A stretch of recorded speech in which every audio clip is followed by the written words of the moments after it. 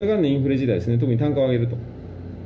で、コーチング業は難しいのかというご相談ですね、この方も海外事ご希望の方なんですけれども、えー、コーチング業ですね、あのデメリットは何でしょうか、難しさ、まあ、コーチング業のデメリットっていうのは、あの僕はあまり感じないんですけども、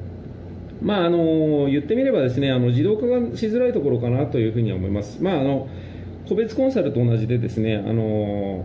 要はその時間に合わせて Zoom とかでですね1対1でコーチング丁寧にするということなのであのやっぱり時間と場所の制約、まあ、場所はですねあのリモートでできるので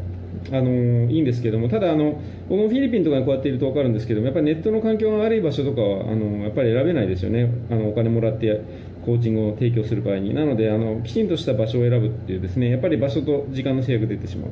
なので単価を上げるっていうのはとにかく大事になりますね。あのたくさんのお客さんを